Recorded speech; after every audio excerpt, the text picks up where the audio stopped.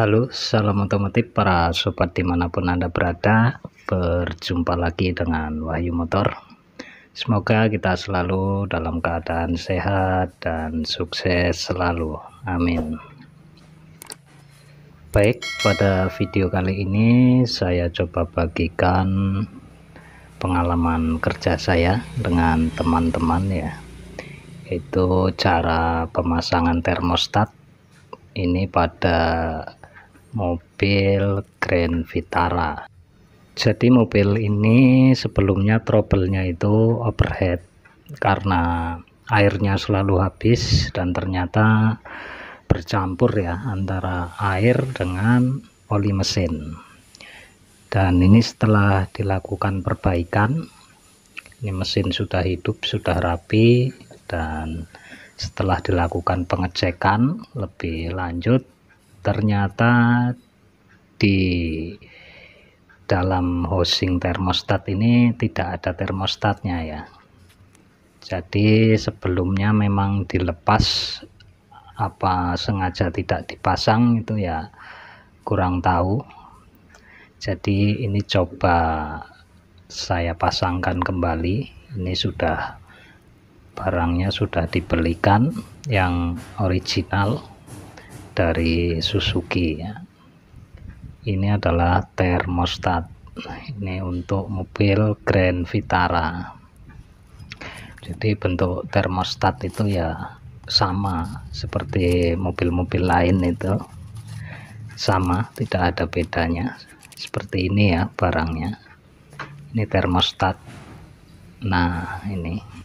Jadi termostat itu sebenarnya perannya sangat penting pada mobil khususnya khusus untuk mobil injeksi ya. Karena ini fungsinya untuk mempertahankan suhu kerja mesin ya. Dan ini kalau di mobil-mobil injeksi harus dipasang. Kalau tidak dipasang itu ya efeknya banyak ya. Yang pertama itu boros. Uh, yang kedua itu RPM-nya itu ngayun ya. Jadi ngayun RPM-nya itu karena suhu mesinnya tidak terbaca dengan akurat. Terus dampaknya lagi itu di kipas ekstraven. Ekstraven yang memakai dua speed dua speed itu fan 1 fan 2 itu juga berpengaruh kalau ini tidak terpasang jadi untuk uh, Extravan speed 1 sama speed 2 itu yang berfungsi cuma speed satunya saja. Speed 2 nya itu tidak bisa berfungsi. Ya. Jadi kurang akurat. Jadi ini setelah dibongkar ini kosong ya. Kosong ini nanti dibersihkan dulu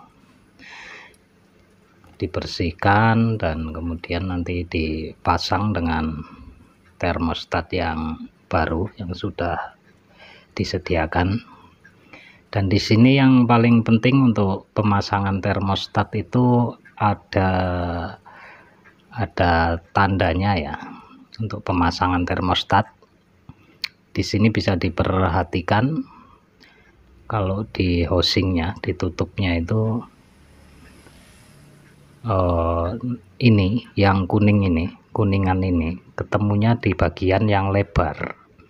Itu kalau tidak ada tandanya. Tapi untuk di Suzuki yang ini Suzuki Grand Vitara ini di sini ada ya tanda topnya. Top untuk pemasangan termostat itu sendiri. Ini di sini ada tanda panah. Ada tanda panah sebentar saya perbesar biar kelihatan ya. Nah ini. Ini ada tanda panah. Tanda panah ini. Nah ini. Tanda panah ini harus lurus dengan ini. Pin kuningan ini. Nah jadi posisinya ada di atas topnya ya ini kalau misalkan topnya tidak pas itu pengaruhnya eh, ada angin yang terperangkap ya di saluran air. Jadi itu mengakibatkan antara pipa radiator atas sama bawah itu tidak bisa tembus airnya jadi yang atas itu sudah panas tapi bagian bawah tetap dingin. Karena tidak ada aliran. Dan untuk pemasangan bagian tutupnya ini bisa bolak-balik. Makanya juga ada topnya ini. Jadi pas coakan itu coakan di housing itu juga lurus pas sama tanda panah yang tadi yang ada di mesinnya. Jadi seperti ini posisinya ya. Nah setelah terpasang ini seperti ini. Ini ada panah ketemu dengan panah yang di housing jadi lurus.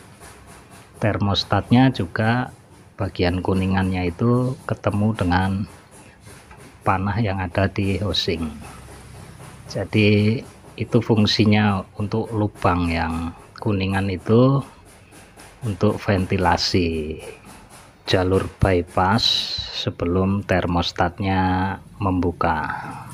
Dan ini setelah terpasang dan dirapikan ini seperti ini ya. Dan kemudian diisikan air radiatornya ini pakai air biasa dulu untuk mencoba kinerja dari fungsi termostat dan untuk pengecekan kebocoran ya. Kalau sudah aman nanti bisa diganti dengan coolant radiator. Jadi diisikan dulu sampai penuh. Kemudian selanjutnya mesinnya dinyalakan jadi untuk pengecekan termostat itu apakah sudah berfungsi dengan normal atau belum itu mesin kita nyalakan dulu. Dan kira-kira 15-20 menitan lah ya. Sampai jarum temperatur ini berada di tengah.